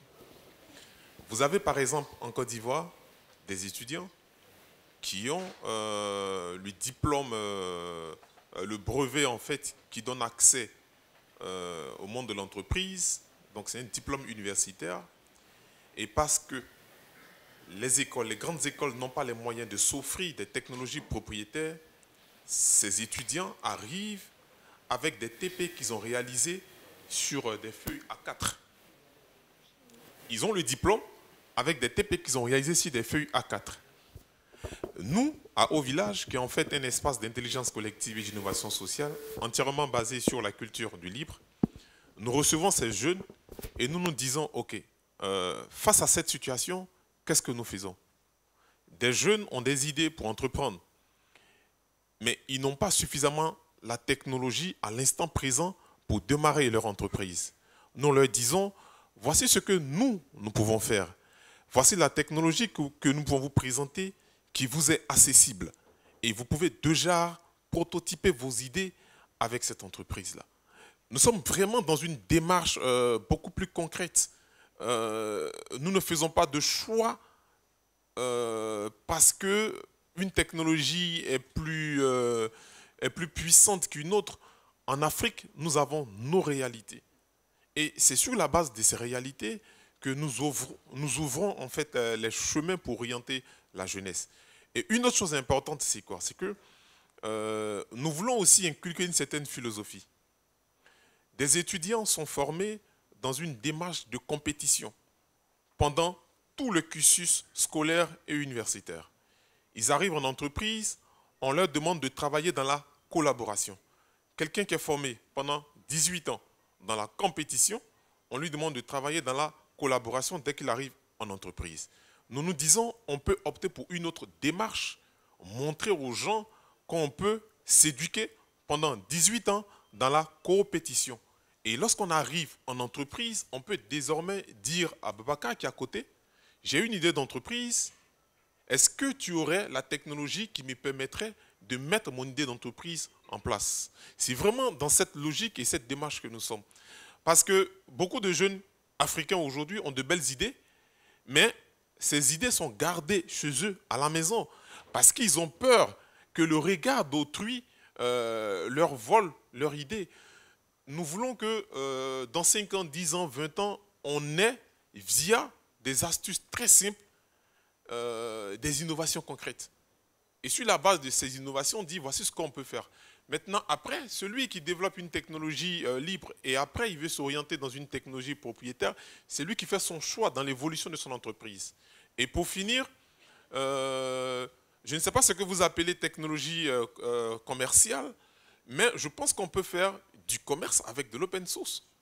On peut créer un modèle économique basé sur de l'open source. Donc, euh, euh, juste pour vous dire qu'on peut utiliser de la technologie libre et puis euh, développer une entreprise qui, en fait, a un modèle économique. Voilà. Alors, je pense qu'on aura encore une intervention. le micro. Rafik, je peux juste dire une seule phrase, c'est une parenthèse. Je reviens juste sur une chose qu'il vient de dire. Euh, par rapport au fait de garder son idée pour soi-même. Donc ça, ça va vraiment à l'endroit des entrepreneurs euh, et des euh, aspirants entrepreneurs. Sachez que tous les entrepreneurs sont différents. Si vous pouvez avoir une seule idée, un million d'entrepreneurs et avoir au moins un million de manières d'exécuter cette idée. Donc n'hésitez pas à partager votre idée. Au contraire, c'est comme ça que vous pouvez l'enrichir en recueillant des feedbacks des personnes avec, euh, avec lesquelles euh, vous parlez. Donc, euh, ne gardez pas avec vous vos idées, partagez-les, au contraire, ça vous enrichit, ça vous enrichira. Alors, juste dans le même sens, avant de donner la parole au monsieur, je vous prendrai juste deux minutes. Alors, d'abord, je vous dirai une chose. On a combien sur Terre déjà? 6, 7 milliards? Combien de bonnes idées sur Terre? Je dis de bonnes idées. J'imagine que ce n'est pas autant, en fait. En fait, pourquoi je vous le dis? Parce que la vraie question dans le domaine de l'entrepreneuriat, ce n'est pas l'idée du siècle, mais c'est comment je réalise l'idée. La vraie question, ce n'est pas le quoi, c'est le comment. Et c'est le comment qui donne du sens à une idée. Ça veut dire qu'on peut tous, là autant que nous sommes, nous lancer dans le même domaine d'activité et réussir tous, parce qu'on aura une manière toute différente de traduire la même idée par rapport à un contexte spécifique ce n'est pas que, je dirais, ce n'est pas le dernier point. Je dirais même autre chose, ce sera la, la petite intervention en dehors de... je dirais même autre chose. La meilleure manière de protéger une idée, c'est de ne pas se la garder pour soi, mais c'est de la lancer. Parce qu'il y a toujours quelqu'un, quelque part, qui a pensé à la même chose. Maintenant, s'il a un peu plus de courage que toi, il la lance, c'est fini. La meilleure manière de protéger une idée, c'est de la lancer. Je pense que le monsieur veut intervenir. Euh, oui, bonjour. Je, me présente, Omar Mesgrin. Je suis euh, consultant dans l'intégration de systèmes d'information. Euh, je vois par rapport à vos interventions que vous connaissez très bien le terrain. Vous avez une expérience de terrain très, très riche et intéressante en Afrique. Et la question que je me pose, c'est par rapport au rôle de la diaspora africaine dans justement le développement, l'utilisation de ces nouvelles technologies pour améliorer la vie euh, de tous les Africains. Et Dieu sait que euh, les Africains sont présents un petit peu partout dans, le monde et ils réussissent très bien. Donc, euh, est-ce que vous avez des exemples concrets d'intervention, d'apport de, la diaspora africaine sur des réalités donc vécues en Afrique? Deuxième point, c'est quels sont les freins justement à l'intervention et à l'apport de la diaspora africaine sur euh, l'amélioration de la vie des Africains et quels sont, euh, je dirais, euh, enfin c'est une autre version de la même question, quels sont les, facteurs qui peuvent favoriser justement cet apport de la diaspora africaine voilà, dans ce sens-là. Je vous remercie.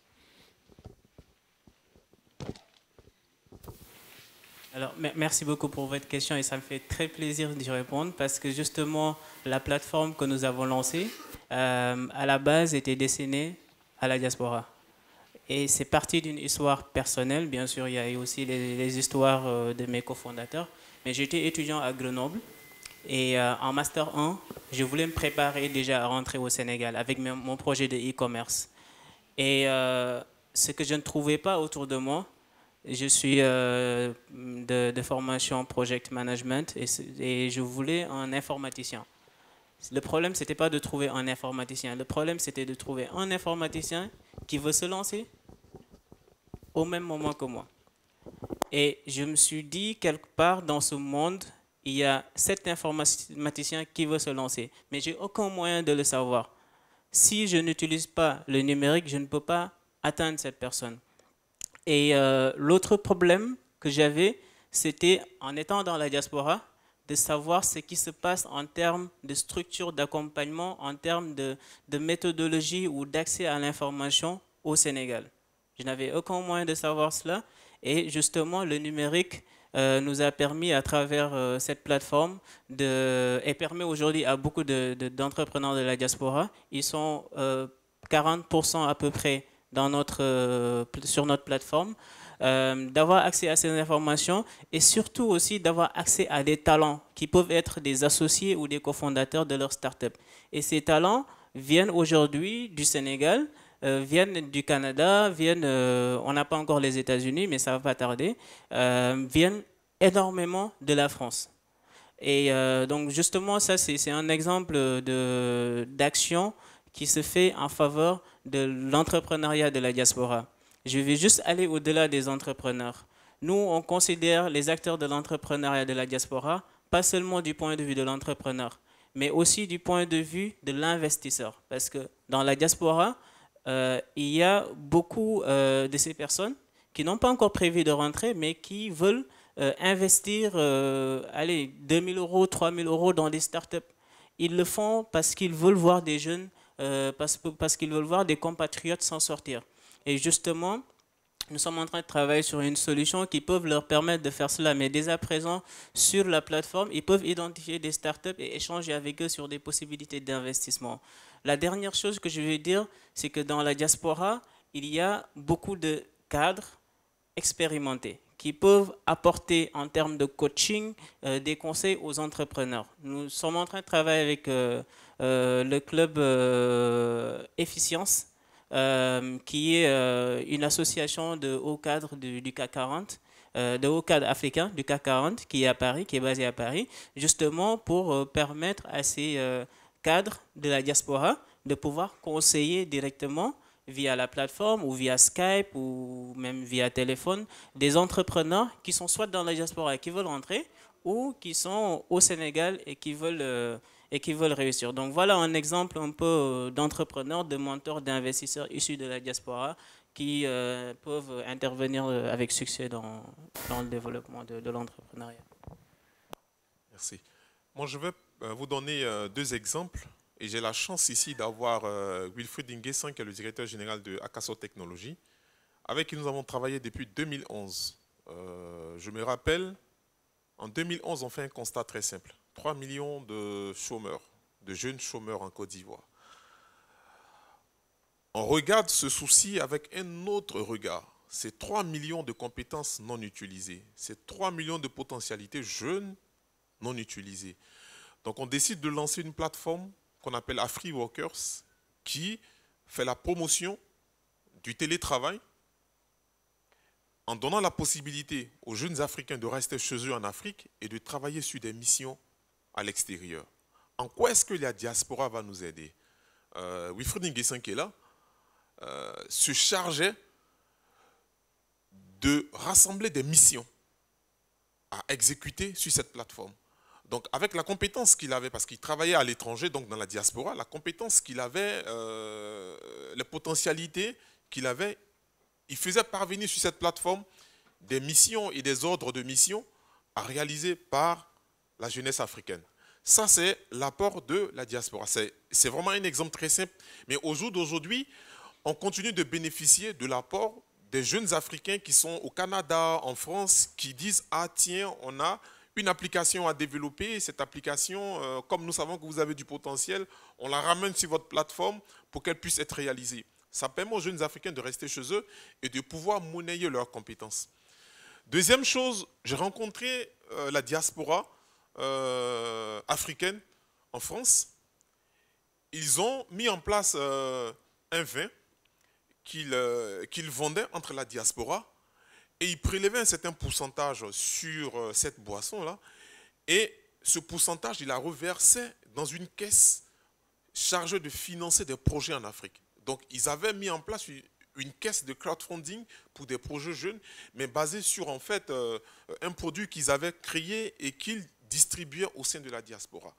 Donc l'objectif de cette euh, plateforme, c'est de pouvoir détecter des projets de jeunes en Afrique, dans le numérique, qu'on peut en fait euh, financer par, par cette monnaie qu'ils ont créée. Donc c'est vraiment deux exemples de l'apport, mais ça reste vraiment deux exemples parmi beaucoup de possibilités de l'impact que pourrait avoir la diaspora sur le développement de l'entrepreneuriat numérique en Afrique.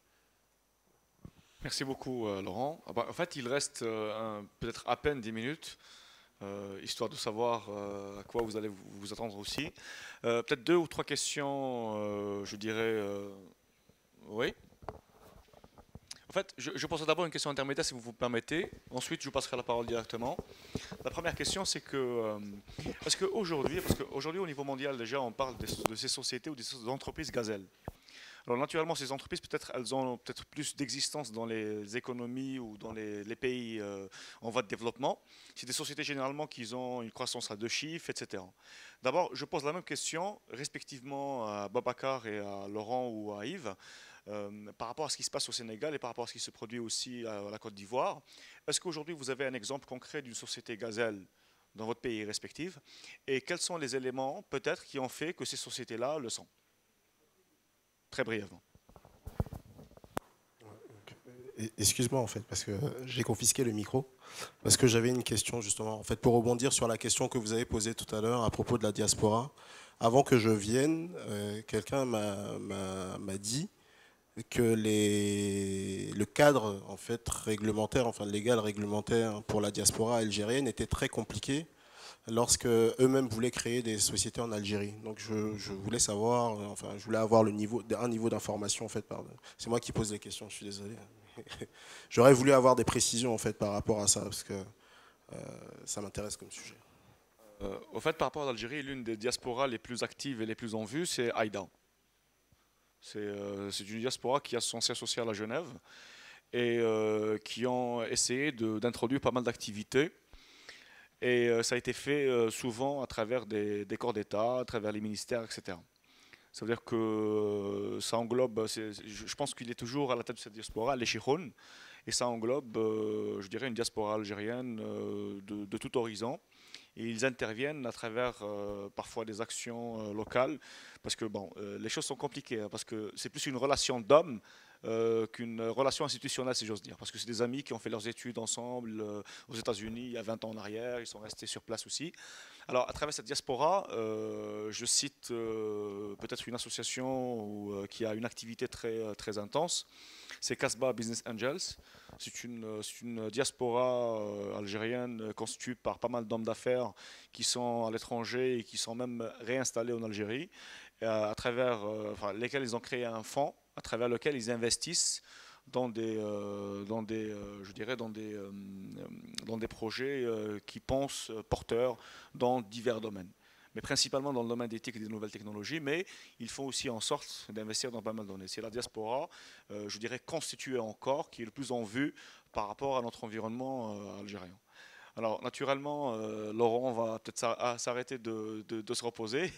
Et je, je, réitère la question par rapport à qu'est-ce qui fait aujourd'hui qu'une société peut avoir un développement à deux chiffres à la Côte d'Ivoire quels sont les, je dirais les, qualificatifs qu'on peut lui trouver pour désigner une société gazelle aujourd'hui au Côte d'Ivoire et par la suite au Sénégal? Bon, d'abord pour répondre à cette question, euh, il y a par exemple des acteurs de, des technologies numériques en, Côte d'Ivoire qui se sont regroupés au sein du groupement des, euh, acteurs du secteur des télécommunications, euh, euh, et des technologies de l'information et de la communication, qui en fait arrivent aujourd'hui à, accompagner plusieurs entreprises, qui arrivent aujourd'hui à, trouver des solutions pour des entreprises vraiment dans l'accompagnement numérique. Et dans ces entreprises-là, je peux par exemple citer Innova, qui est en fait euh, une entreprise aujourd'hui qui arrive à booster tout ce domaine Mais il y a aussi de jeunes entreprises. Par exemple, moi j'ai vu évoluer une entreprise comme, euh, comme The One, qui est en fait une entreprise euh, axée dans l'intégration de, de, technologies libres, qui aujourd'hui arrive en fait à se propulser dans, dans, dans, dans l'écosystème. Euh, dans ce domaine du numérique, pour moi, c'est d'arriver à un moment donné à créer en fait une solution concrète qui euh, arrive à accompagner que ce soit les entreprises privées, que ce soit les collectivités locales, mais, mais vraiment qui arrive aussi à accompagner des politiques euh, du gouvernement dans la mise en place du numérique en général. Et, là, je viens de citer deux entreprises qui arrivent en fait à, à à se créer euh, un excellent chemin dans tout l'écosystème. Mais aujourd'hui, le groupement qui est en fait le gothique euh, se positionne comme euh, l'acteur clé de toute cette émulation dans l'économie numérique en Côte d'Ivoire. Alors, juste une petite parenthèse, peut-être donner la définition de ce qu'on appelle, ce qu'on veut dire par Startup Gazelle. Je pense que c'est Startup Unicorns.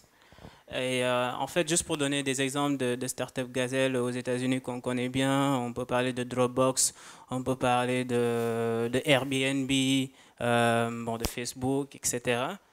Et en fait, ce sont des startups qui sont arrivées à avoir des niveaux de développement juste exponentiels. Euh, et bien sûr, il y a des, un exemple que j'ai en tête au Sénégal, mais juste avant ça, j'aimerais revenir sur euh, ce matin, avant d'arriver, j'écoutais Nicolas Difour, qui est le président euh, de la Banque publique d'investissement en France, et qui, qui, qui, qui, disait que le, problème de... Enfin, aujourd'hui, il est beaucoup possible, il est, euh, et c'est une réalité, d'avoir des startups en France qui arrivent à l'étape de unicorn. Quand Blablacar a voulu, euh, a voulu lever euh, des dizaines de, millions, ils sont allés le chercher aux États-Unis. C'est leur, leur, dernière levée de fonds. Et ça, c'est arrivé parce que dans l'écosystème startup qui est présenté à ces startups, euh, pour qu'ils puissent se développer avec ces niveaux exponentiels, il faut différents paliers d'investissement. Il faut que les startups qui sont à l'étape d'idées, prototypes, etc., puissent avoir accès à des investissements type business angel, par exemple. Parce que la banque ne va jamais te prêter à cette étape-là. Ceux qui peuvent te prêter, c'est un peu moins aussi les, euh, capitaux développement, les capitaux risques. C'est plutôt les business angels qui te donnent ce pouvoir. Et ensuite, ces entrepreneurs dans les écosystèmes développés, ce qu'ils ont, des, ce sont des possibilités de sortie. C'est-à-dire, ils savent que s'ils atteignent euh, un niveau de développement euh, particulier, ils pourront avoir accès facilement à des capitaux risques. S'ils arrivent à un niveau de développement euh, plus important, ils peuvent avoir accès à des capitaux de développement et assez facilement. Et ils peuvent se donner une ligne de mire qui est d'entrée en bourse. Donc, ce sont les célèbres IPO, IPO qu'on voit. Et aujourd'hui, au Sénégal, euh, nous, on n'a pas encore ce système, euh, euh, cette infrastructure en, cascade en termes d'investissement qui peuvent permettre assez, aux startups de se développer. Toutes les startups qui se développent euh, au Sénégal, je n'ai pas encore d'exemple de start-up qui est parti à l'international pour avoir ces, investissements. Et l'entreprise ou la start-up que je veux nommer, c'est Wari. Euh, Wari, c'est un système de transfert d'argent au Sénégal qui existe aussi dans beaucoup d'autres pays africains. Et là où tu peux savoir, euh, juste une anecdote, que Wari s'est développé en termes euh, de manière exponentielle, c'est que Wari est entré dans le langage euh, euh, dans le langage de la population. Pour dire envoie-moi de l'argent aujourd'hui au Sénégal, on dit Wari Mako. Wari Mako, c'est Wari le mois. Donc ça, et Wari a pu se développer, bien sûr, en, allant voir des investisseurs type investisseurs et partenaires euh, l'association française de l'investissement, qui sont au Sénégal et qui investissent à partir de, 500 millions de francs CFA. Et ça n'a rien à voir avec ce, que les startups, ce dont les startups ont besoin. Donc il y a ce gap en termes d'investissement qui empêche beaucoup de startups d'arriver à ce niveau. Donc les rares qui arrivent à ce niveau euh, sont ceux qui ont pu avoir des niveaux de développement assez extraordinaires, favorisés par l'environnement, par le besoin de la population. Euh, mais pour se développer dans cet environnement où manquent les investissements, c'est compliqué. Merci beaucoup, Babacar. Au fait, par, rapport au temps qui nous reste, je vais juste demander à trois intervenants d'intervenir si jamais ils veulent bien le faire. Et je pense un premier monsieur qui veut, qui veut prendre la parole. Il y a un micro. Bonjour. Bonjour. Euh, Alors, je demanderais juste euh, aux, je dirais, aux ceux qui posent la question et à ceux qui répondent d'être le plus bref possible parce qu'il nous reste euh, moins de 5 minutes. Moins de 5 minutes, ok. donc, bonjour à tous. par rapport à Blablacar, effectivement, c'est un bon exemple de start-up, mais la, Blablacar, en fait, a levé 100 millions il y a un an et de nouveau 100 millions, non pas parce qu'ils restaient en France, mais parce qu'ils sont partis en Inde. Donc il y a une très forte internationalisation et euh, parce qu'ils sont arrivés et ils ont réussi à, sécuriser leur segment. Aujourd'hui, ils font une énorme traction euh, en Inde et euh, il y, a les, chiffres qui parlent, c'est que l'Inde c'est plus d'un milliard d'habitants, ça va dépasser la Chine et je pense que c'est un bel exemple à suivre lorsque on se dit que on veut lever de l'argent et on veut être la future licorne et on veut être le numéro un dans son secteur. Il faut tout de suite penser international, il faut être très agressif et chercher à être un peu partout. Euh, si on regarde par exemple le, continent africain, euh, moi j'ai la chance de passer pas mal de temps en Afrique, et si on regarde la différence euh, entre l'Afrique francophone et l'Afrique anglophone, il y, a, des tech hubs et, moi je ne jetterai pas trop la, pierre à, l'État. Je pense que l'État il a un, rôle à jouer, ne serait-ce que pour amorcer et créer les premiers espaces. Et effectivement, il faut que ce soit des, partenariats publics-privés. si c'est que public, ça ça marche voilà, c'est compliqué. Par contre, il faut vraiment que ce soit public-privé. Et là, ça se joue dans la gouvernance des incubateurs. Il faut que les conseils d'administration, il faut qu'il y ait l'État, il faut qu'il y ait les opérateurs, notamment télécom, si on est dans le numérique. Il faut qu'il y ait la société civile. Et là, ça marche bien. Euh, il y a des success stories intéressantes, notamment au Sénégal, qui, se dupliquent un peu partout. Mais par rapport à la différence du mindset, moi, je dirais que ce qui caractérise vraiment euh, l'Afrique francophone et l'Afrique anglophone, c'est vraiment l'état d'esprit, c'est par rapport euh, à, la prise de risque. Et les investisseurs ont peur de prendre des risques euh, en Afrique francophone par rapport à l'Afrique anglophone. Et il y a un indicateur qui ment pas, c'est les levées de fonds en Afrique. Euh, en 2014, il y a eu plus de 120 levées de fonds de start-up, donc de jeunes pousses qui ont levé des fonds auprès d'investisseurs en Afrique. 124 pour être plus précis. il n'y en a eu quasiment aucune dans un pays francophone. Ils ont tout été faits dans les pays d'Afrique anglophone, Nigeria, donc en, en, stock, en nombre, Nigeria, Kenya et Afrique du Sud. Et euh, il y a eu un peu d'Égypte, euh, mais il n'y a presque pas eu de levée de fonds dans les pays d'Afrique francophone. Il y en a quasiment pas. En tout cas, euh, l'observatoire qui les a mesurés, qui est CVC for Africa, on n'a trouvé aucune. Donc là, il y a un vrai, sujet qui est comment aujourd'hui créer des fonds et comment ces investisseurs-là les faire investir. Alors il y a des premiers pas qui sont faits, notamment au Sénégal, il y a le premier fonds d'amorçage qui s'est créé, Teranga Capital, mais y, a, je pense qu'il y a une vraie différence il y a un vrai différence d'esprit. Si on regarde la Côte d'Ivoire et si on regarde par exemple le Ghana, qui est juste à côté, c'est frontalier, ben, l'approche elle est différente vis-à-vis de la prise de risque, vis-à-vis des startups, etc. L'anglais joue beaucoup. L'anglais, c'est la langue de l'Internet. Et ça, c'est un vrai avantage quelque part qu'ils ont, mais qui n'est pas infranchisable. Mais euh, c'est un indicateur qui permet de voir en fait quelle est la marge de progression. Et effectivement, moi, euh, le conseil que je donne, c'est l'année prochaine, faites, faites venir des anglophones euh, pour justement euh, unifier ces écosystèmes-là. Voilà. C'était juste une, réflexion que je voulais faire. Merci beaucoup. Alors, euh, on prendra une dernière intervention pour ceux qui veulent éventuellement donner ou poser une question. Ah bah ça tombe bien, je la prends. Alors, toute dernière question. naturellement, on le voit, je dirais, dans le, filet, dans le filet économique, surtout dans le business du web en général, on voit que beaucoup de startups africaines, hein, je dirais aussi l'exemple des startups algériennes, ont cet esprit de réfléchir à régler des problématiques, mais vraiment locales. Ça a été dit à plusieurs reprises, c'est un bon point de départ. Généralement, les entreprises, euh, je dirais, euh, anglo-saxonnes, principalement européennes euh, d'une manière un peu plus, plus large, réfléchissent géographiquement, régionalement, sur le plan régional ou sur le plan mondial. Alors, est-ce que vous ne pensez pas que cette localisation trop pointueuse, trop précise à un certain moment, va un peu euh, créer son revers et devenir un peu le talon d'Achille de ces startups que, euh, dans le sens où est-ce que vous ne pensez pas qu'il faut passer de cette recherche de solutions locales à des solutions beaucoup plus globales très rapidement? Au risque, je dirais, de perdre l'avance par rapport à une concurrence web qui est naturellement et instantanément, je dirais, mondiale.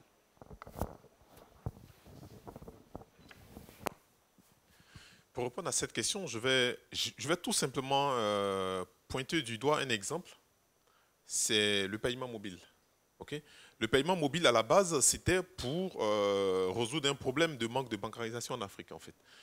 Euh, on se rend compte que cette plateforme est née dans un pays anglophone, en Afrique, rapidement dupliquée dans des pays francophones, et aujourd'hui, l'Europe est en train de réfléchir à l'intégration euh, du paiement mobile.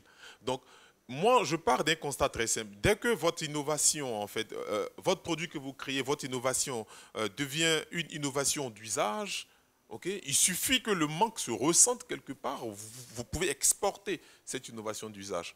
très souvent, on réfléchit en local. Je prends l'exemple du planteur qui était tout à l'heure debout. Il y a quatre ans, il a réfléchi à une plateforme de déclaration de naissance par SMS en Côte d'Ivoire. Deux ans plus tard, on a une même plateforme qui est en fait développée au Sénégal. Cette année, une plateforme pareille est développée au Burkina Faso. Ce sont en fait des constats qu'on a, mais, mais pour moi, ça reste euh, de la technologie qui s'appuie sur un besoin d'usage. Et une fois que ce besoin euh, d'usage est résolu, je reste convaincu qu'on peut l'exporter, qu'on peut vraiment l'exporter. Mais je pense, je suis dans une autre démarche. Euh, résous ton problème d'abord et tu, tu comprendras que ce problème aussi peut devenir le problème de quelqu'un d'autre. Voilà. Merci beaucoup. Je, crois en fait que la, la, question arrive fort à propos puisque euh, c'est la thématique même euh, de cette quatrième édition de Algérie 2.0. on a voulu construire des ponts, les ponts sont jetés, maintenant, c'est soit on utilise la technique Jean-Claude Van Damme, grand écart facial, soit effectivement, euh, petit à petit. J'aime bien dire que quand on construit une maison, il y a des grosses pierres et puis il y a des petites pierres. Il n'y a jamais quelqu'un qui est venu arriver avec un truc, sa maison est posée. Ça, ça n'existe pas. D'accord? Donc, effectivement, on peut nous dire, ouais, c'est peut-être une lacune, c'est peut-être une défaillance, c'est peut-être ceci. Non, moi, je vois des opportunités. Et je ne vois que ça. Je vois en fait juste cette capacité de résilience, cette capacité de résonance. Je vois juste que euh, au, Sénégal, euh, l'écosystème dynamique fait avancer en fait tout ce qui tourne autour de la en périphérie en fait des problématiques de e-commerce. Euh, on me dit ouais, il n'y a pas trop de e-commerce en Afrique. J'ai dit vous avez déjà vu Bolloré et ses discounts s'installer à Dakar parce qu'il n'y a pas d'e-commerce? Ah, c'est que les gars, ils ont du nez. D'accord? Donc, ce qu'on fait et ce qu'on construit de manière locale, qu'on pense être local, on se dit toujours que ça répond à des besoins de la sous-région. Les peuples et les cultures sont, euh, comment dire, sont transfrontalières. Donc on n'est pas en fait en train de dire ok moi je vais juste traiter cette solution là pour mon petit quartier, il y a 200 habitants, ok j'ai résolu un besoin. Non, non, non. On est en train de penser plus global. Et bien entendu, comme vient de le dire euh, Florent, euh, cette expérience-là de l'orboire qui s'exporte, tu as parlé du Burkina, tu as parlé de où ça aussi? Du Sénégal. Tout ça, ce sont les mêmes peuples. Les gars, du matin au soir, ils prennent leur Air Côte d'Ivoire ou bien Air Burkina, ils arrivent là. Royal Air Maroc, ils arrivent à Casa. À Casa, ils vont chercher à les transférer. Voilà, ce genre de choses-là. Quand euh, j'ai commencé à travailler avec euh, Jean Delmas, euh, on avançait sur, il avançait sur leur bois, leur bois. Et puis à un moment, je lui dit, écoute, il y a une boîte que je suis en train d'accompagner aujourd'hui à Bordeaux je veux que vous bossiez ensemble. C'est une boîte qui développe également un ERP dédié au monde agricole. On construit les ponts, grand écart facial. C'est pas grave si on se fait mal aux ISO. Comment ils appellent ça? ISO, jambier, voilà, tout ça. On a pris la retraite, on joue plus au foot, donc il n'y a plus de problème. Les, ponts sont plus solides que les murs, exactement. Merci Florent. Merci beaucoup. Je remercie le public pour son attention, pour, euh, sa présence. Je remercie vivement Yves, Florent et Babacar. Merci beaucoup et euh, à bientôt. À tout de suite.